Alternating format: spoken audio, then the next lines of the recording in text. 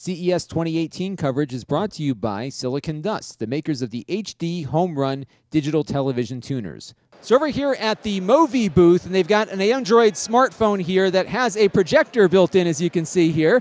And we're going to shoot it out onto this piece of paper so you can see what it's looking like. It's pretty bright, actually, given the uh, light that we're in in the room here. So it's good enough if you need to get a projector out in a pinch. Doesn't feel all that much larger than a regular smartphone. It is powered by a MediaTek 6750V slash WT, and they're telling me it works on all four of the major carriers here in the United States. It costs 599 and it's unlocked uh, for that price point. So if you've ever been looking for a projector in a pinch, uh, this might be something worth taking a look at. Maybe we'll try to get a loaner in and see how it works in a full review.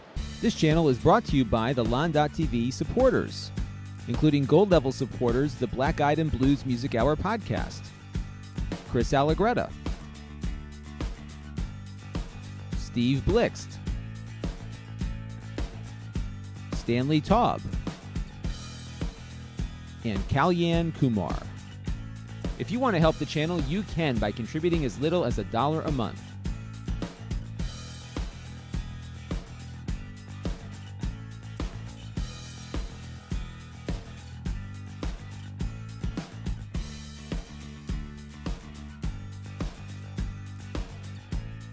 Head over to lon.tv slash support to learn more.